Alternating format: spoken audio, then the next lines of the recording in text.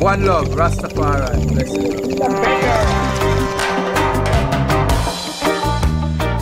Blessed and good night, my viewers and subscribers. Unfortunately, I have some very sad news. This is, of course, not a video that I like to make in any case. However, for the viewers and subscribers of Freelance Chucky, there was an accident last night. Sometime in the night, I mean, I got some information from a very close family member. And um, he also have a YouTube channel and he will be posting all of the updates pertaining to Freelance Chucky and what's going to be going on. Um, there was an accident last night. It, unfortunately, it was an hit and run situation. I've heard that some guys coming from Crabbush, they found him and of course called for help. He was taken to the hospital.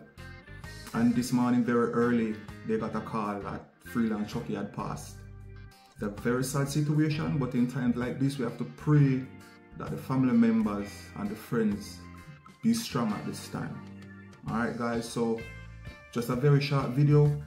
Um, Panda Ends Adventure very close family member of Chucky as well, he will be posting all of the updates. So guys, I'm to leave a link in the description so you guys can give him a follow.